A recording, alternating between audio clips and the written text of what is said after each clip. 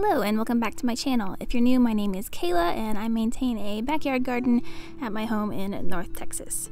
Today is February 15th and it's a very pretty day outside. Um, so today I'm just going to show you how things in the garden are doing. I have a couple things I'm going to plant outside and then a couple of seeds that I'm going to start inside as well. So stay tuned and I'll show you through the garden.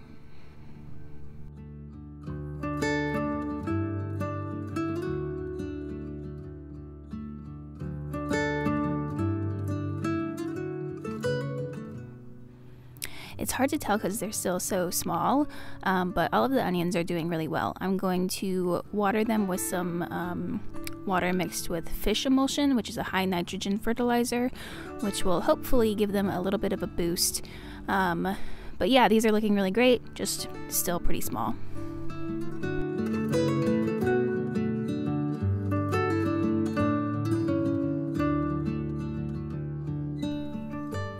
All of these flower bulbs are coming in really nicely. You can see I have one daffodil down here that's starting to bloom, so that's really exciting. Um, I forget which kind of hyacinths I had here in this middle section, but those are definitely slower to come up than the other ones. Um, but overall, everything is slowly making its way, and I'm really excited for this to be filled with flowers.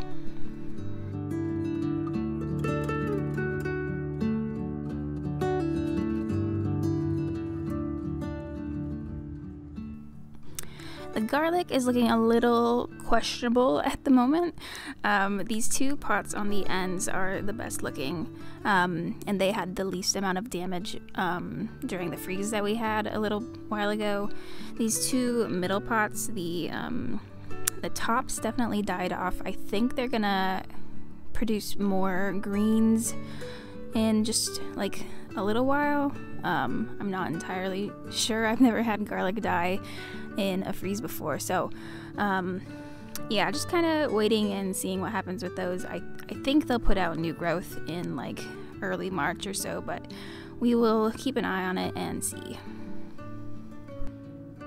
This I accidentally killed. My two bags of wildflowers are still looking really good, and then um, all of the peas that I planted, the snap peas, are starting to come in, so that is exciting. I have this empty edge along the right side of my flower bed, um, and so I decided I think I'm going to plant some radishes here because um, radishes are pretty quick to grow. I think both of the varieties that I'm planting today are 30 day um, radishes, so they should be in and out pretty quick. Um, the goal is for them to be out by the time that I replace everything in this bed with my spring vegetables. Um, so yeah, that's what we're gonna do. Um, I could plant some back here, but I think I'm to just leave this space open and then my peas are behind that. So flowers, peas, and radishes here.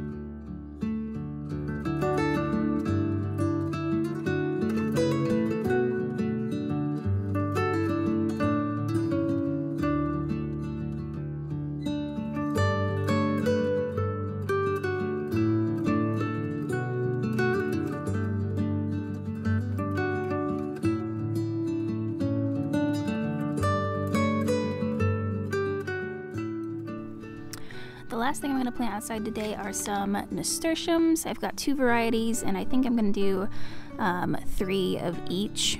I'm determined to get some nasturtiums to grow this year and this is the correct time to plant them. So um, yeah, I'm going to put them in this bed here which is in front of my um, crossvine, which is still doing good. It looks, you know, a little purpley at the moment because it's just, you know, that's how it looks in the wintertime. But I expect that to spring back in the spring. Um, so yeah, three of this peach melba on this side, and then three of this Bloody Mary mix on the right side.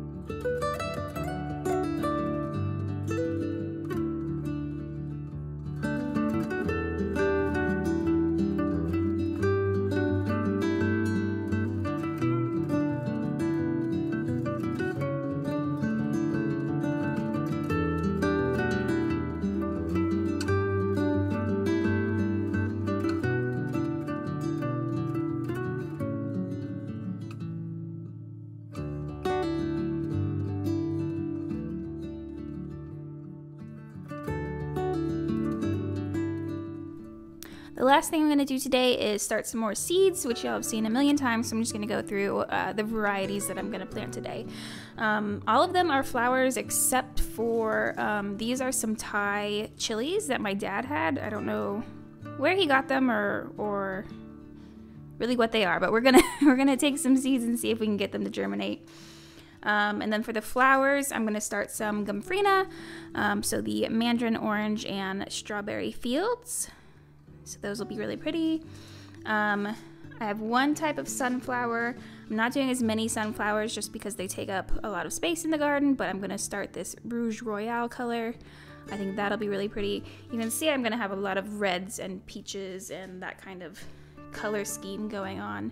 Um, Amaranth is new for me. I haven't tried planting it before, um, but I'm gonna try this Hot Biscuits and Love Lies Bleeding. Um, varieties. They both look really cool. I think they'd look cool in some flower arrangements, so we're gonna give those a try. Um, for zinnias, I'm starting four kinds of zinnias. Uh, first one is the Isabellina, Isabellina, Isabellina, uh, Isabellina. We'll, we'll, we'll, go with that. Um, canary bird, giant salmon rose, and then uh, this Persian carpet blend. So those will be really pretty. I love zinnias. Um, and then lastly, the two kinds of nasturtiums that I already sowed outside. I'm going to start some inside just in case the ones outside don't do well for any reason. Again, I said I'm determined to get those to work this year. Uh, so we're going to start some of those as well. And that's about it.